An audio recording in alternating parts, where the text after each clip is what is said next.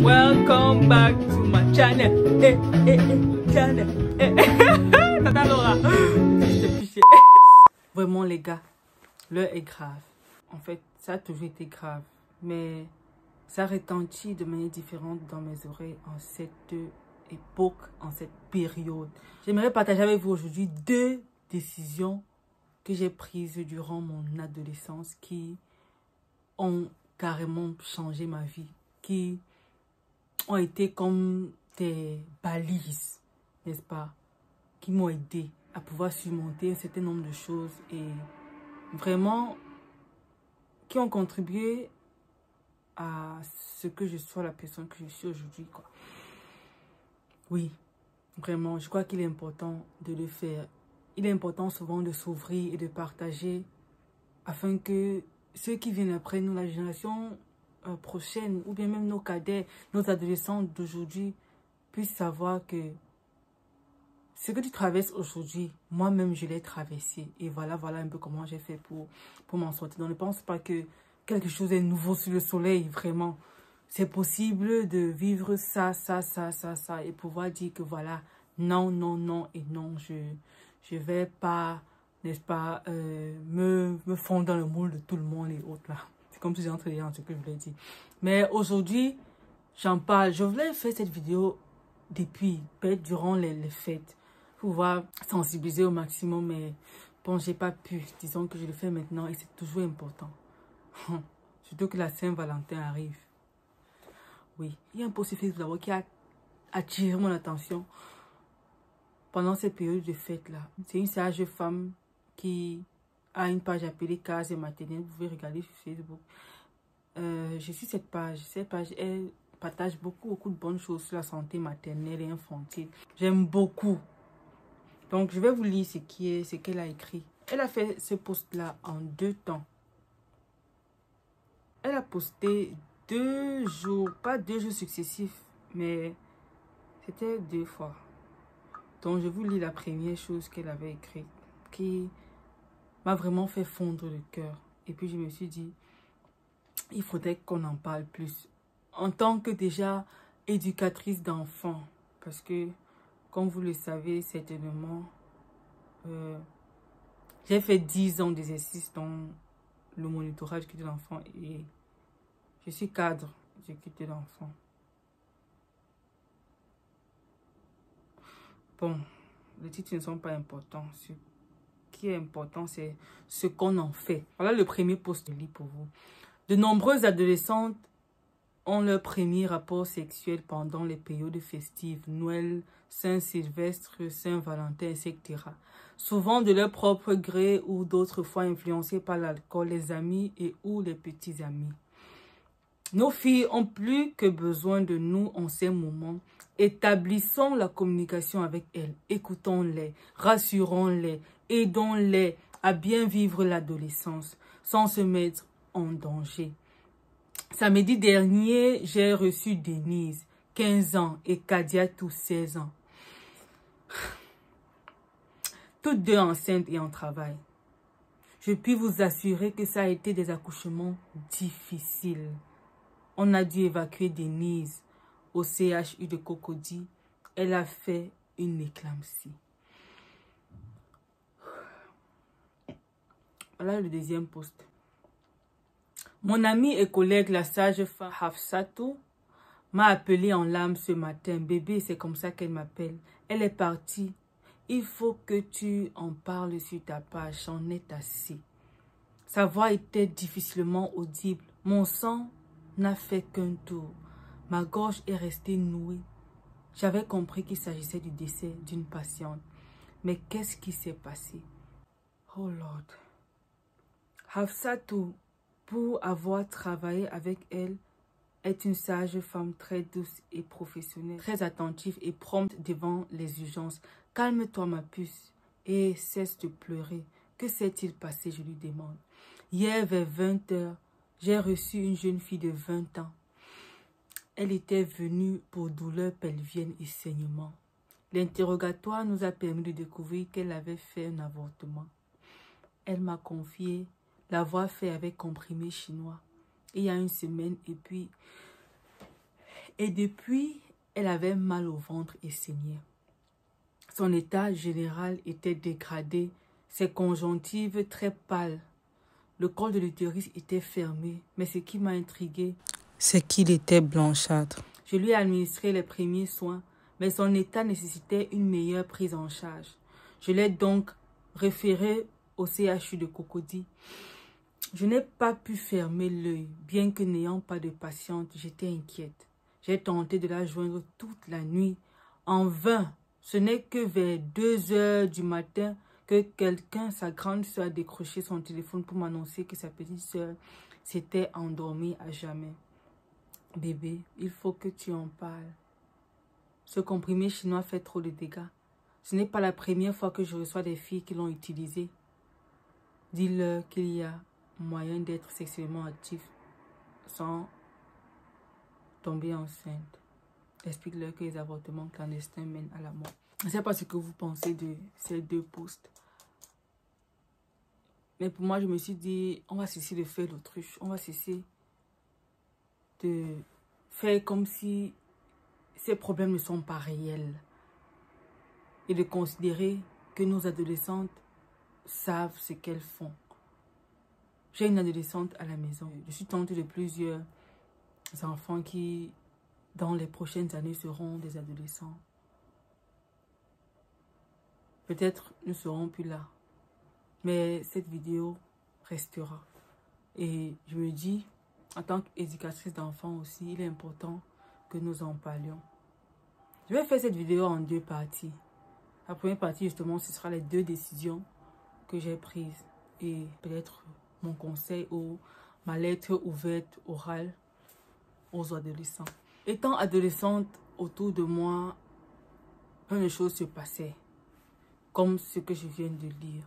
Vous voyez, je voyais mes aînés ou mes congénères, n'est-ce pas, avec des garçons montés, descendre, vous voyez, dans, au quartier, tout ça, mais forcément, les, les, les, mamans se plaignaient et autres, là, ils essayaient de faire autre chose, la bastonnade et tout, les, tu ne sors pas et tout ça. Mais bon, les adolescentes, des enfants et tout ça, d'autres escalader les barrières et tout ça. Souvent, au lycée, pendant les heures de pause, tu overhear.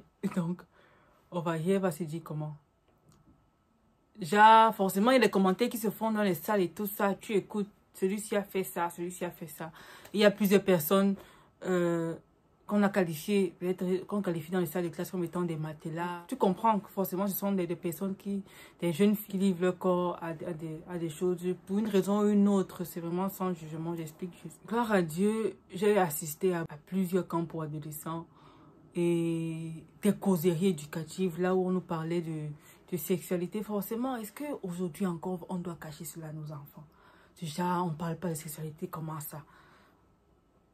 Si on n'en parle pas à la maison, ils sauront comment Like, how will they know? Et on fait l'autruche, on estime qu'ils ne savent pas ou bien c'est trop élevé pour leur âge. Pourtant, dans les salles de classe, ce sont eux qui, qui se font, je sais pas trop quoi. On a tous entendu ces histoires qui se passent dans les lycées et collèges. On sait ce qui se passe. Mais c'est à nous d'en parler. C'est à nous d'en parler. C'est exemple laquelle j'ai beaucoup aimé cette série Sex Trial de Escalier. J'ai beaucoup partagé ça sur mon, ma page Facebook. C'est vrai que peut-être plusieurs n'ont pas adhéré, mais I don't care. I need to speak. Like, c'est ma responsabilité. Je ne peux pas faire autrement, ok? Sorry, I need to speak Avec toutes ces causeries et tout ça, et je me souviens, il y a une maman qui m'avait vraiment expliqué de quoi il s'agissait. Elle avait 38 ans à cette période-là, elle n'était pas mariée. Et puis, elle nous parlait en tant que des enfants et tout ça, de nous dire, voilà, voilà, c'est possible que vous viviez différemment, c'est possible que vous ne soyez pas comme des taxis. En fait, toutes ces filles-là qui ont peut-être livré leur virginité trop tôt et tout ça sont dans les regrets et elles essayent, n'est-ce pas, de tout faire pour que vous soyez comme elles et tout ça. En fait, elles vous envient. Ce n'est vraiment pas un exploit de se dire que voilà, j'ai fait ça avec telle personne. Ce n'est pas une prouesse. Ce n'est pas un truc digne de vantardise. J'y ou ça, j'ai fait ça avec celui-ci, celle-là et autre là au braque. Et puis dit que, ah, vraiment, je, je, je connais tellement d'hommes. tu vois, j'ai couché avec combien, combien de garçons et tout ça. Je suis, je suis, je suis. Toi, vraiment, ça forgeant qu'on devient forgeron. Si tu n'apprends pas maintenant, je peux apprendre comment euh, on ne vend pas la poudre dans le sac. Tout ça, ce sont des conneries, en fait. Et puis, je me suis assise avec moi-même. Adolescent, je crois que je devais avoir dans les 13 ans, 14 ans à cette époque-là. Je me suis dit, Seigneur, c'est un problème réel. C'est un truc réel. Like, it's real. Mais je te supplie, je veux pas, veux pas entrer dans ça. I don't want. Je ne veux pas entrer dans ça. Ça détruit tellement de personnes. It's like, c'est... Ah. Vous n'avez qu'à regarder, n'est-ce pas, l'histoire que je viens de, de, de vous lire là. La première décision alors que j'ai prise, c'est dire non. Like, non à toute forme de relation extra-amicale. like, mes amis me connaissent. They just know me for that. Like, je te, sens de loin, c'est un non. Like, I don't want, je ne comprends pas pourquoi on doit être des extras amis. Like, je, suis en classe peut-être du, troisième, seconde et tout ça et tout. J'ai tout mon avenir devant moi. Tellement de possibilités. Pourquoi est-ce que je dois, n'est-ce pas, être là, me perdre le temps dans les, des histoires pareilles? Why? Why should I do that? Like, je me souviens lorsque j'étais en première, ça fait super longtemps, hein. Super longtemps parce que je crois que j'ai bac plus 9. oui, plus 9. Ça fait super longtemps. Il y avait souvent certains de mes camarades de classe là qui, qui font genre. Elles ont volé peut-être quoi, quoi de leur maman pour voir le matin, donner ça à un garçon. Elles sont passées toute la nuit à faire des gâteaux, à faire des arachides et autres. Là. Même à l'église, même à l'église, il y avait des, des grandes sœurs qui faisaient ça pour pouvoir donner à un garçon et tout ça. Je me disais que ça c'est... Pourquoi? Why? Why would she do that? Like, c'est pas trop de peine ça.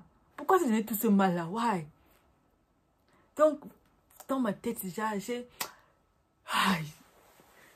Quand je parle, c'est comme si vous ne comprenez pas bien ce que je dis, mais j'ai écarté toute forme de possibilité là. Je n'ai permis à personne. C'est comme si j'ai bâti un mur. J'appelle ça un mur de bellon, vous voyez. Avec des... Vous voyez des... Donc, like... Pémia. I'm not, I'm not, I'm not going that. Like, no. It's a really no. C'est pas un no que tu fais genre no. Like, no, I was going. Je ne suis pas là-dedans. Il y avait des, des livres également dans notre paroisse un livre que un papa avait écrit, je sais pas si maman, 20 raisons de dire non au sexe avant le mariage. Souvent on donnait ça à des, à des baptisés durant, durant le baptême. C'est comme si je, n'ai pas eu l'occasion de lire ça, mais hmm, j'avais une amie également en classe de première qui nous avait donné des, des, brochures chrétiennes sur love and sex et autres, like dating. Oui. Donc, ce qu'elle faisait, c'est. Il y avait, je crois que c'était sept livres, sept petits livrets lorsque tu finis un livret et puis tu remplis toutes les, cases et puis tu as une, tu as une bonne. Je crois que les questions c'était sur 20 et tout ça. Donc c'est là, ça qui t'a donné accès au prochain livre. Tu es vraiment passionné de pouvoir savoir comment on se prémunit de toutes ces choses-là. Donc voilà un peu, voilà la première décision. Et la deuxième, c'était vraiment de me dire, puisque je savais en grandissant, je crois que j'ai raconté l'histoire de ma conversion dans une vidéo où je vous disais que c'est lors d'un camp pour adolescents qu'on m'a présenté euh, vraiment qui c'est notre créateur. Parce que on va pas se mentir, dans les histoires du Big Bang et tout ça, ça ne tient pas la route. J'ai beaucoup de respect pour les athées, mais vraiment, ne nous mentons pas, ne nous voyons pas la face. Tout, tout montre que, like, seriously, il y a Dieu derrière tout. Après ce, ce camp-là que j'ai que j'ai compris véritablement que car la meilleure chose qui puisse t'arriver, c'est d'avoir une relation avec la personne qui t'a créé et qui sait tout de toi, en fait, et qui t'aime plus que tout, qui a donné la chose qu'il avait de plus cher pour toi. Comment ne pas aimer ce genre de personne? Like, tu fais comment? T'es en fait. Like, non! Si nous tous avons besoin d'être aimés, si nous avons toujours ce craving-là en tant qu'humain de nous sentir compris et tout ça, ton like, he's, he's the best of all, man. Il y avait deux versets qui me marquaient beaucoup en cette période-là. Le premier, c'était ne réveillez pas l'amour avant qu'elle ne le veuille. La maman de 38 ans, euh, dont je vous parlais tout à l'heure, elle aimait vraiment ce verset. Elle, pendant tout ce camp-là, quoi que le camp avait fait déjà dans les 5 jours, en fait, on nous répétait ça. C'était devenu une partie de moi. Ne réveillez pas l'amour avant qu'elle ne le veuille. C'est vraiment avant qu'elle ne le veuille. Parce que ce n'est pas il. Ce n'est pas il. Parce que dans, dans le contexte, c'est l'année dernière que j'ai compris qu'en fait, c'était... On parlait de la femme de, de, Salomon, la tsunami et autres. Bref. Mais ce verset-là, c'était vraiment, gars, fais gaffe. Fais gaffe. Je ne dis pas que le S, quand je parle de S, vous comprenez, que le S n'est pas une bonne chose déjà. Non, comment ça? Tout ce que Dieu a créé est super bien. Like, real, c'est super bien. Il y a simplement un cadre. Vous voir s'épanouir dans cela, c'est un cadre. C'est un cadre. Lorsque papa Marcelo dit que lorsque vous trichez, vraiment, vous le faites tellement rapidement, vous pouvez m'avoir des douleurs. Bref, non, pas dans ça. non, pas dans ça, mais, mais vraiment, c'est déjà ma copine. C'est vrai, tu as des pulsions, tu as tout ça qui se forme dans toi, tu te sens, tu sais pas comment tu vas faire et tout ça. Et aussi, les garçons. Ah, les garçons. Moi, je parle pas trop des garçons parce que j'aimerais vraiment que mes soeurs puissent se retrouver dans ce que je dis en tant que moi, femme, quoi. Fille ou adolescente à l'époque. Les garçons, je sais que toute cette pression-là fait en sorte que ils peuvent vous conjuguer des verbes. Parce que, surtout les Camerounais, je me souviens, il y avait notre, il appelle comment, notre professeur de chinois qui disait que non, les Chinois ne sont pas trop dans les, dans les verbes, donc ils ne posent pas trop de conjugaisons. Déjà, vraiment, tu es la lune de tu es, tu es, tu es. Ils sont plus dans... En fait, un Chinois ne dit pas tout le temps à son épouse qu'il l'aime. Hein. S'il dit une seule fois, c'est pour la vie. Il n'est pas trop dans les répéter, répéter. non. Autant un Camerounais va te conjuguer les verbes. You are... You... On va entendre nos musiques et tout ça. Et les Français, oh... Bref, euh, pour vous dire que les gars peuvent vraiment vous dire tout ça. Et on nous expliquait comment que maman, on peut t'utiliser comme ça. Ce n'est pas une histoire de voir, de love et tout. Parce que le S, pour un garçon, déjà, c'est pas trop lié au cœur. Pour une fille, c'est déjà, si tu fais cela avec elle, ça veut dire que tu l'aimes et tout ça. Bon, on va pas entrer dans la psychologie du S et autres là, mais vraiment, c'était un appel à nos filles adolescentes sais pas trop pourquoi tu t'es engagé dans ça. On a peut-être qui reprochent à leurs parents de ne pas les avoir euh, dit, pas avoir causé avec les sensibiliser. Mais bon, chercher un bouc émissaire ou bien une personne sur qui euh, rejeter toute la faute, c'est pas, c'est pas important. C'est pas important. Si peut-être tu t'es engagé de manière précoce, il y a de l'espoir forcément. Il y a de l'espoir. Ce qui est bien avec notre Seigneur c'est que le passé est passé. Quiconque est en Christ est une nouvelle créature. Les choses anciennes sont passées et toutes choses sont devenues nouvelles. Si tu veux en savoir plus, tu, tu pourrais tout simplement m'écrire sur Messenger et on pourra mieux en discuter, quoi. Je ne sais pas si je vous ai parlé de la deuxième chose. J'ai tellement énoncé plein de choses. Et surtout, je ne veux pas être très, très long. Remarquez que lorsque les vidéos sont très, très longues, ça, ça dérange. Peut-être celle-ci là, vous aurez aimé que ce soit plus longue. Ou bien. La deuxième chose, c'était vraiment de, de, chercher Dieu de tout mon cœur. Parce que comme je vous ai parlé des deux versets qui m'ont marqué, le deuxième, c'était « Cherche premièrement le royaume des cieux. Like, toute autre chose vous sera donnée par-dessus. » Pour moi, c'était le first thing, like the first thing. Je savais que sur ça sera bâti toute autre chose. Donc pour moi, c'était vraiment de seek who is God? Qui est-il? Pourquoi, pourquoi, pourquoi?